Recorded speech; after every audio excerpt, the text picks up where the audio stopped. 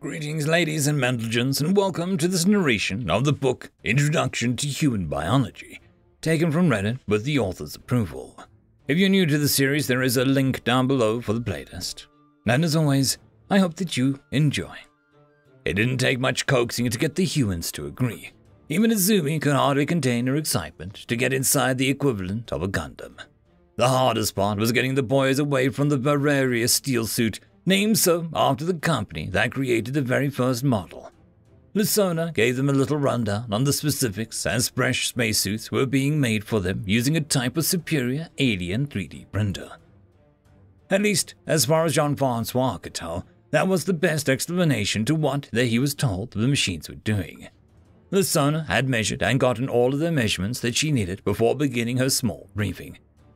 So we'll be doing a skirmish, a brawl scenario, this means that it's just a straight up fight. No objectives except for the last one standing. Weapons are tuned down so that we don't actually hurt ourselves or damage the steel suits too severely. What high weapons are available? Barry seemed to be taking this more serious than anything else at the Academy up to this point.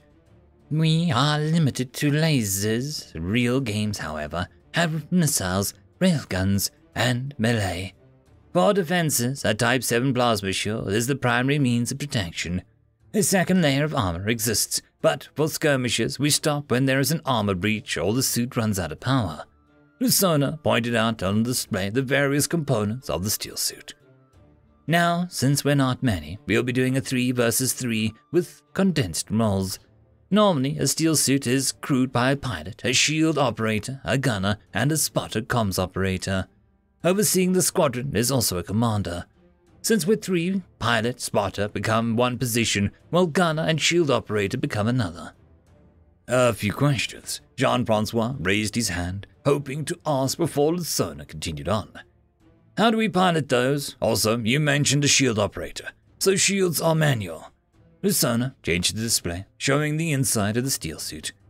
When you sit down in the seat, which is also being manufactured right now, You'll connect to the steel suit by a very tactile way. These suits are easily replaceable depending on the pilot's size. Your movements will be interpreted by the helmet that you'll wear and be sent to the actions of the steel suit. Hence, a human pilot should be able to pilot a Dwayne Dunn steel suit, but you've had much more difficulty. If even able to, with a four-legged and Noir steel suit, one for example. The shields are manually controlled by an operator in order to save energy. The operator activates them when they are needed. The laser requires a continuous stream to inflict damage, so you'll need to keep it focused on the enemy. What about the tail? remarked Laura. I don't think that should cause much issue. At worst, you won't be able to use it. We can maybe remove it if it causes trouble, but it helps for balance. Lusona looked behind the humans and waved. Oh, good, they're here. The four turned around to look at whoever was approaching. A small black furry creature came into view making small but quick steps that clicked on the hard metal floor. It wore some open vest and small shorts, a tiny tail swinging at the back. It almost appeared to be related to a sheep family of species, if not for its elongated face that seemed canine in nature. Moving alongside it, a blue alien that could be at best described as some kind of blob, or rather a slime, slid across the floor at the same pace. Izumi's eyes went wide as she saw the small, furry creature. Without much warning, she got up and ran towards it, prompting the poor thing to backtrack and run in the other direction. It didn't get far, however, as Izumi's longer legs allowed her to snatch it up. Unhand me, you fell beast! It screamed as she held it tight to her chest, muttering to herself about how cute it was. That is my friend Smilriot. He's the pilot on the team, introduced Lucerna. Can you, um, please let him go? Izumi relented and put the creature down its cleft hooves tapping on the floor, making a small clang as she lowered. Never in my life have I ever, it raged, murmuring under its breath as it got distance between Izumi and itself. Hello, Lusona. How are you today? asked the other creature. I'm good, thank you, Lycos. These are the new students. They're human.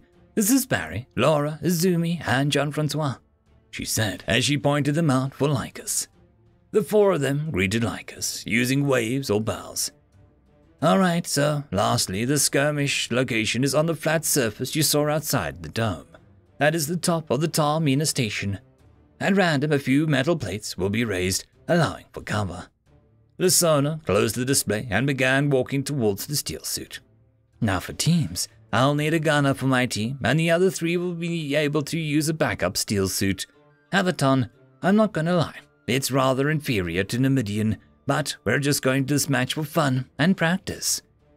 Um, is your friend not playing? Izumi was afraid that she had scared the other alien by her show of affection. Smurliet is, but not like us. Her kind, the Kusid, don't do well with these kind of environments. Usually, most species have certain positions they excel at for Steel Squadron, but hers simply don't use them. Uh, I would like to try take gunner, proposed Barry. I've got a few guns back at home, and I played a bunch of shooters back in the day. Well, I'll be hunting a few times with my uncle. He used to work for Heckler and Koch, so I've had a chance to see a few guns. I think I should be the other gunner, added Laura. Jean Francois and Izumi nodded their understanding. Izumi was next to speak. Well, I've never gotten my driver's license, so I don't think I would be a good pilot. If you don't mind doing it, Jean Francois. It's fine by me. I've often wondered about how virtual reality could go, and this seems a great moment to experience. Lucerna stopped in front of the Numidian, a Dredon steel suit, and smiled. After hearing this short bit of history, she really wanted to see how well they'd do at a steel suit. The machine signaled that it had finished its job, and she walked over, retrieving four spacesuits for the humans. Let us suit up. In the dome, red lights flashed, indicating the beginning of a Steel Squadron match. Secondary dome projection projections became active, raising another partial dome around the main one. Out on the top of the station, large metallic plates were raised from the station's structure, creating an artificial battlefield. Atop the dome, two small rooms occupied the topmost space, giving a view of the full battlefield.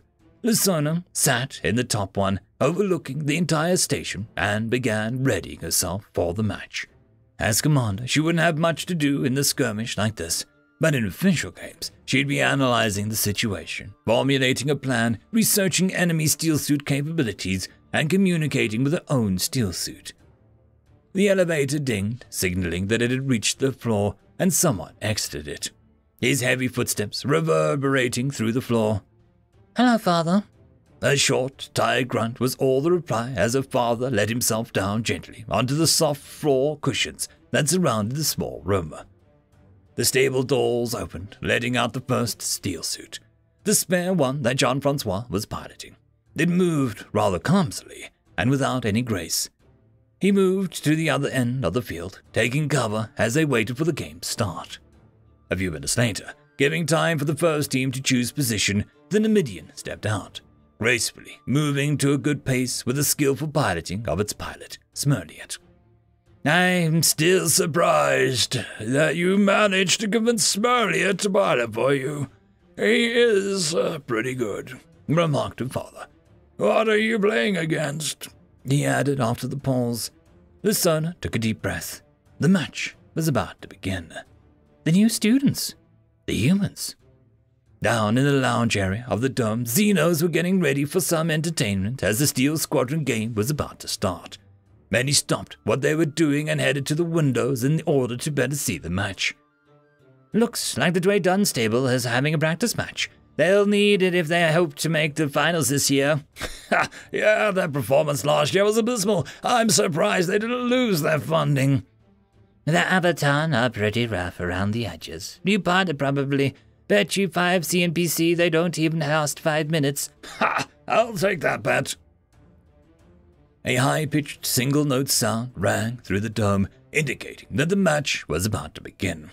Only one floor down from Lasona, Izumi was in a similar room to her enemy commander, able to see great distances and the entirety of the battlefield. Lasona had briefly mentioned that this was similar to being in orbit and having satellite assistance, granting a bird's eye view of the full battlefield to the commander. Testing, testing, uh, do you receive me? She spoke to the communication device in front of her. It was linked to the computer. Loud and clear, came reply from Laura and Jean Francois. Okay, the match is starting. The enemy is at your nine o'clock, moving in your direction. It took a moment for Jean Francois to situate himself, turning around to change his position, getting a bit more used to the controls. He peeked from behind the metallic paddle and advanced as he saw no one. On the other side, moving much more fluidly, the Numidian made its way towards its target with the assistance of its commander. Okay, stop. They're right on the other side of this panel. Maybe flank them? Izumi wasn't sure what they needed to do, but it sounded like the best move. Obviously, a role like commander would shine more during a bigger engagement. As the team began moving around to get the enemy's rear, Izumi was surprised by the enemy's movements. The Numidian jumped up high, gaining height advantage on the backup steel suit. As soon as it landed next to the Avaton, the Numidian began firing its laser weapon. To Jean Francois's credit, he managed to react rapidly enough, dashing to the right while Laura activated the shields on the side, receiving the laser fire. The damage was minimal, but helped put the Numidian on the offensive. It kept it up, following the Avaton while its gunner tried to keep him in the laser lock. A fast-paced exchange followed, lasers striking the exterior armor briefly before shields fell in place, cancelling the laser with a high-density plasma. The plasma shielding used more energy than the lasers, making defensive turtling a bad idea. Jean-Francois kept his steel suit in motion, trying to make Barry work harder to get a solid hits on him. The superior maneuverability of the Numidian meant that Laura had to work harder than Barry in order to keep the weapon focused. Jean Francois darted behind some cover, buying some time. Izumi gave Numidian's position, but there wasn't much that he could do with that information because Lasona was also giving his position. He started getting more used to the Avaton's responses, his movements becoming slightly more fluid with time as he ran around, trying to let Laura get shots in while he focused on trying to be hard to hit. It was a mixed success. He was able to use the shields less, but Laura was missing more of his shots. Damn it! Stop moving so much, Jean Francois! Laura screamed as she switched the shields to the left arm, cancelling out the laser ever so briefly. I can't. If I don't try and dodge some of those, then we'll run out of power. Jean Francois was at a loss at what to do. His machine was inferior to the enemy's, and his lack of familiarity with it did not help. He thought about rushing it, maybe catching it off guard and throwing it on the ground, but remembered that melee was off the table for the skirmish. The Avaton's energy reserves depleted mere moments later, the steel suit grinding down to a halt. Disappointed, Laura and Jean Francois waited in the steel suit as it towed back to the hangar. Up above in the commander's post, Lisona's father stood up. Well, uh, that was a tad underwhelming. He looked at the game statistics sheet as he scratched his chin. Although the, the Numidian gunner had a fairly good accuracy with 82% continuous laser uptime, that's a fair bit above the league average. You should look into adding him to the roster. Her father was right. She'd have to have Barry get into a team tomorrow. She had expected a good showing from the humans, but she was left more impressed than she initially thought. Even the gunner and the grand champion Enwa team, Vetter, only had an accuracy of 72% without using computer assisted targeting. And you know what? I never even told them that there's uh, computer assisted targeting. Both gunners were simply using manual controls.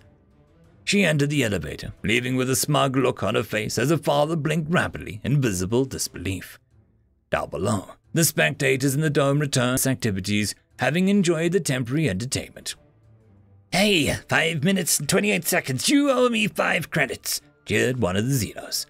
The other rolled its eight eyes and shook its head. Decidedly, that had been a bad wager. Back in the hangar, the pilots exited their steel suits while removing their helmets. It had been a short time, but rather strenuous activity. If Jean Francois had to compare it to something human, he'd have said bumper cars on steroids. Lasona and Izumi had come down from the dome in order to meet up with the others. No, dang, sorry girls. I wish I'd been better. Jean Francois hung his head low. Hey, that was actually a fairly good first showing, Lasona said as she did her best smile. Yeah, it was a ton of fun, even if we wouldn't have won, added Barry. I might have to say this sport is uh, better than hockey. If we had this on Earth, I'm sure it'd replace baseball as America's favorite pastime. Lasona is right. For the first time effort, it was pretty good. With some training, however, you could maybe make it into the lower division, Steel Squadron League. Smerliet kept his distance from Izumi as he joined in the conversation. You got any water around here? That was a pretty good workout, and I'm parched. Jean Francois looked around, but saw only machines and tools. Lusana motioned for everyone to follow her. Oh, yeah. Let me buy you all a drink. At first, I was rather skeptical when she had mentioned drink, but were pleasantly surprised when they had sat down on the second level of the dome to find an actual bar like area. Lusana ordered something called Satus, which she'd explained was the juice of a hard shell fruit, for all of them. You know, I'm really happy there's at least juice. I don't know how long I could have gone with just water. Jean Francois returned to his drink, emptying it in a few quick gulps. I'm glad you like it. These ones are a bit expensive though, so maybe don't get too used to them. They're only grown on a planet very far from here, so availability isn't very common. There are other types of juices that cost a lot less. Oh, yeah. How, how does money work for you guys? Like, uh, does every species have their own thing, or is there some kind of universal currency? Barry had put away his drink, focusing all of his attention on the sonar. It'll vary where you find yourself. Everyone except CNPC, which stands for Carbon Nanotube Plating Credit. But most also have their own currencies. Governments have agreed on a standard measurement for a plate of this material, whose value derives from being used in almost all space constructions of large scales due to the tensile strength. One CNPC is worth one thirty-one of a plate, but we don't actually carry those around. We have digital devices that store them. So it's a bit like when we used to have the gold standard. How rare are these carbon nanotubes? inquired Laura. They're uh, not rare. Uh, they're, they're useful. Speaking of money, however, Barry, there's something I'd like to discuss with you in private. Lisona got up, beckoning Barry to follow her. The others began making small talk as the two of them left, occasionally looking at a replay of the match on the screen above their head. Well, I suppose we should find a way to earn some of those CNPC. I'm intrigued at what the exchange rate would be for euros, wondered Jean Francois. Assuming that we can make this material, likely high, but it'll depend on what the standard measurement is for a plate, added Laura. Well, that doesn't necessarily mean anything. One species could be willing to pay a lot for something native to Earth. The trick will be finding out more about what every species wants and likes, Izumi said and stood up. But for today, I'm going to go and sleep. It's been a long one. Laura and Jean Francois waved goodbye to Izumi as she walked towards the elevator. They waited a bit, but Lusana seemed to be having a rather long conversation with Barry, who was listening and not talking. Looking at his laptop, Jean Francois realized that there were only seven odd hours before the start of the next class. Well, um, I suppose I could get going as well. Today was fun. I hope we get to do it again. He waved goodbye to Laura, heading to his room. End of story. Just a quick shout out to the T5 peeps. Bob the Dragon, Cat Crab Lobster, Data Magnet, Dark Machine, Bezic, Try Again 95, Fudic Yol, Astrea the Dreamer, Casper Arnholtz, Cam Maxwell, Ithilia, Meridian 117, and Jordan Bucksmorm. Thank you very much. And that, my friends, concludes this video. I hope that you enjoyed. There are links down below both to support this channel and for the author of this fiction. Anyways, I hope you all have a fantastic one, and I'll see you next time. Cheers.